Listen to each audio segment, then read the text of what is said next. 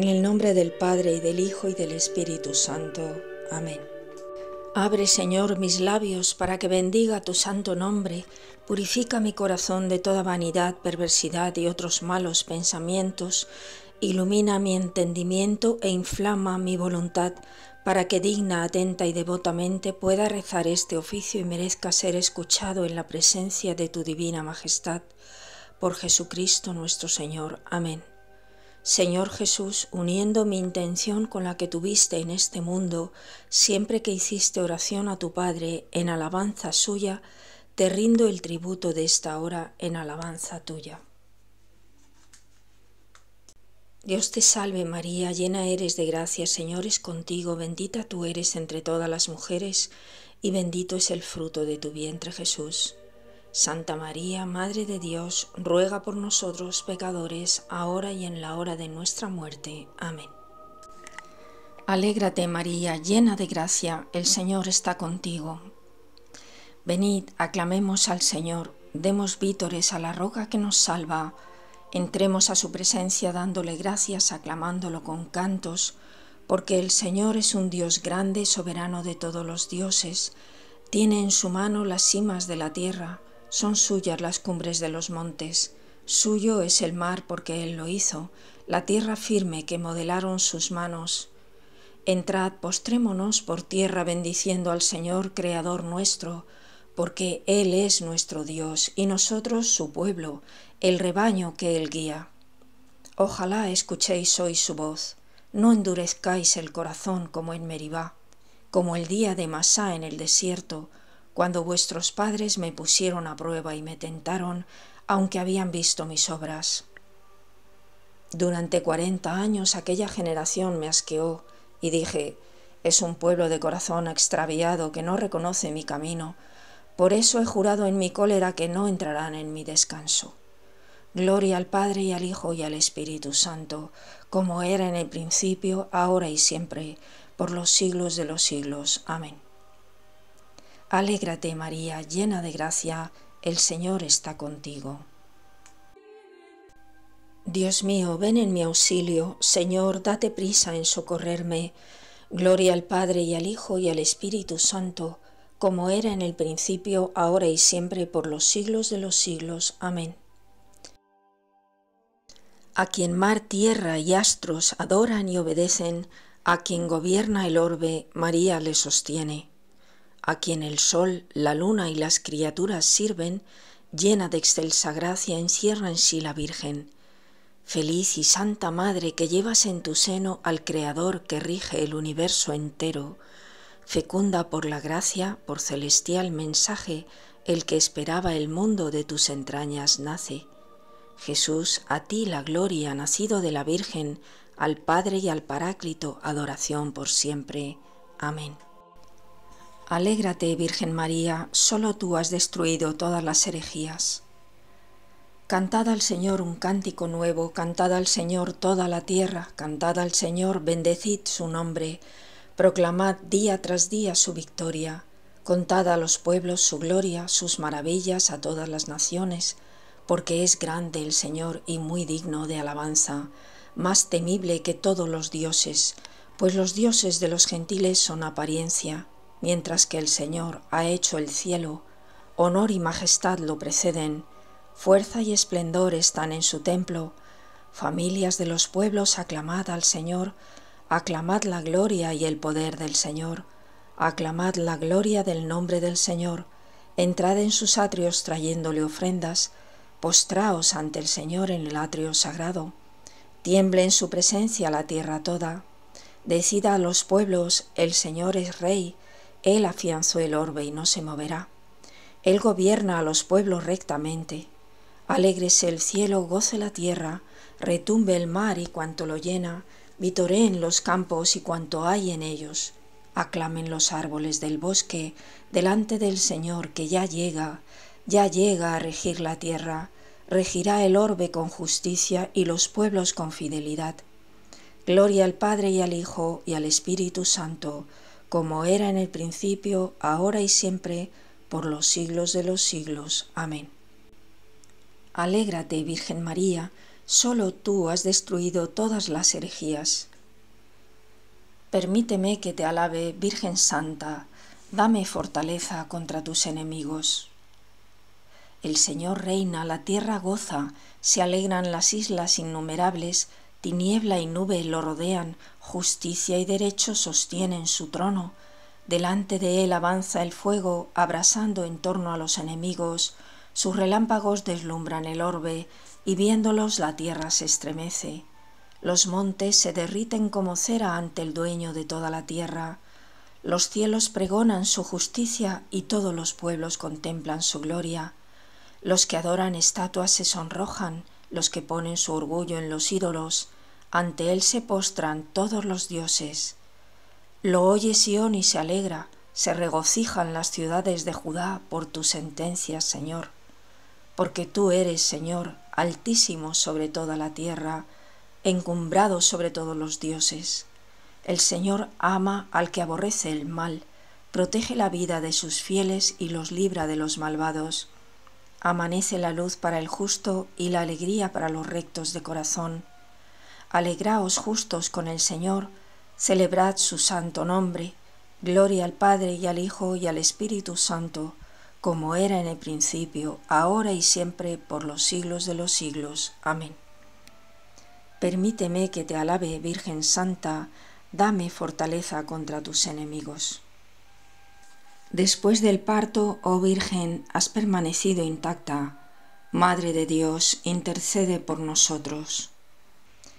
Cantad al Señor un cántico nuevo porque ha hecho maravillas, su diestra le ha dado la victoria, su santo brazo el Señor da a conocer su victoria, revela a las naciones su justicia, se acordó de su misericordia y su fidelidad en favor de la casa de Israel.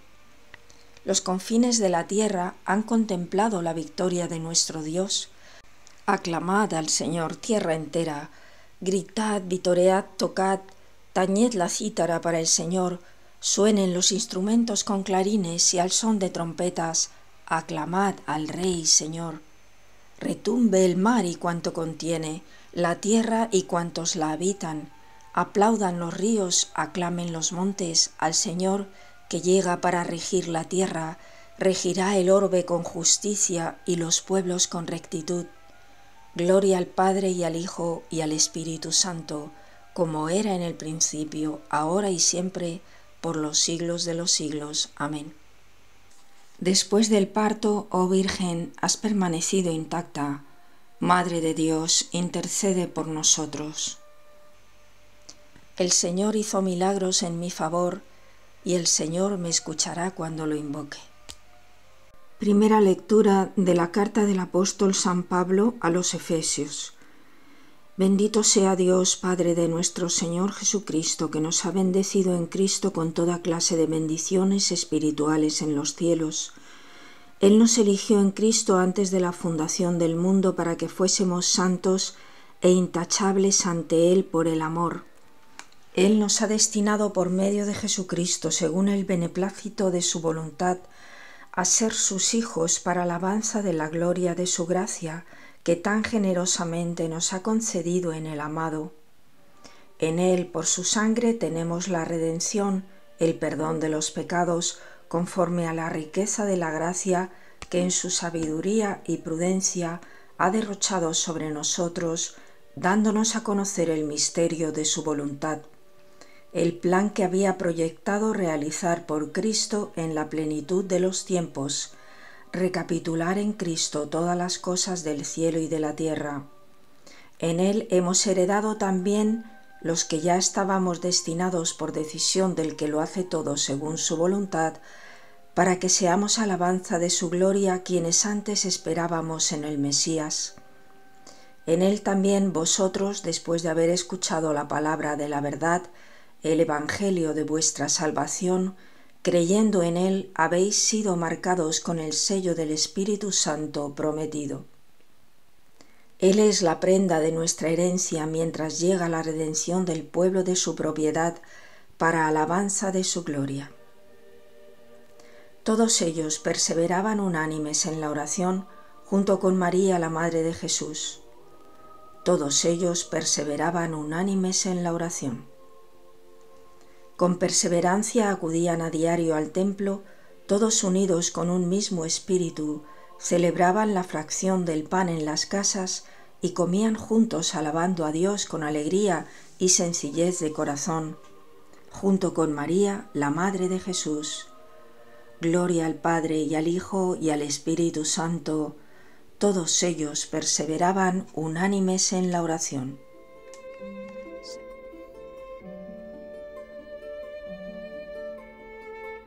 Segunda lectura. María Inmaculada, su santidad. Hemos venido meditando sobre la belleza corporal y física de la Santísima Virgen, pero ¿qué comparación puede haber con la hermosura de su alma? Detengámonos hoy en ella y tratemos de sondearla un poco. La santidad en la tierra es gracia.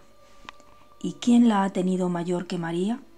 ¿De quién se ha dicho que la ha poseído en su plenitud?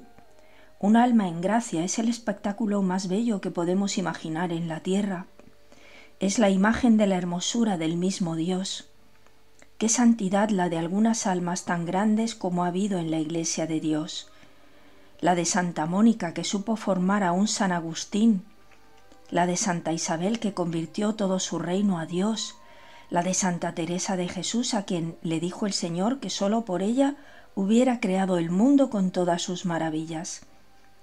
Recuerda los nombres de Francisco Javier, Ignacio de Loyola, Pablo de la Cruz, Francisco de Asís, Santa Cecilia, que conversaba a diario con los ángeles, Santa Inés, que no tuvo más mancha que la de su sangre derramada en aras de su virginidad, y así miles y miles de santos y santas que perfuman a diario el jardín de la iglesia.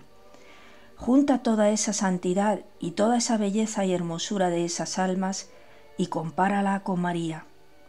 Ella en su concepción tuvo más santidad y gracia que todos juntos. Donde los demás terminan, ella empieza. La razón es porque todos, como dice San Juan, tuvieron que ir a lavar bien sus vestiduras en la sangre del Cordero, y si tuvieron que lavarlas es porque estuvieron manchadas, siquiera por algún tiempo. Pero el alma de María no tuvo necesidad de ser lavada porque nunca se manchó lo más mínimo. En un jardín cogemos una rosa, la más encendida y aromática. Al examinar sus pétalos vemos polvo, briznas, manchas. Quizás en su cáliz se esconde algún insecto, algún gusanito. En el jardín de la iglesia ocurre lo mismo. Hay muchísimas flores, azucenas de pureza, lirios de candor, rosas encendidas de amor divino, violetas de humildad, pero todas en su raíz tienen un gusanito, todas tienen la baba de la serpiente, son flores de jardín donde hay un áspid que a todos inficciona. Solo María es flor de pétalos blancos, sin polvo y sin espinas, rosa de huerto cerrado, pura, más que el mismo sol que también tiene manchas. Por eso de ella dice la Iglesia que comparada con la luz es más pura y brillante. Qué hermosísima el alma de María.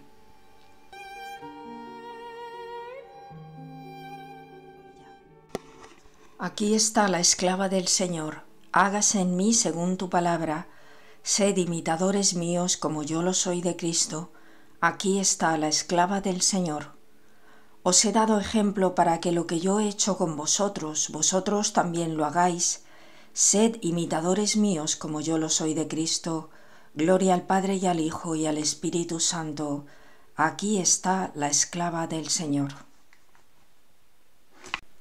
Señor Dios, que te dignaste elegir el seno virginal de la Santísima Virgen María como morada en que habitara tu palabra, concédenos que fortalecidos con su protección, celebremos con alegría su memoria. Por Jesucristo nuestro Señor. Amén por las oraciones y los méritos de Santa María, siempre Virgen y de todos los santos, perdone el Señor nuestros pecados y nos lleve a la vida eterna. Amén. Bendigamos al Señor, demos gracias a Dios. Las almas de todos los fieles difuntos, por la misericordia de Dios, descansen en paz. Amén.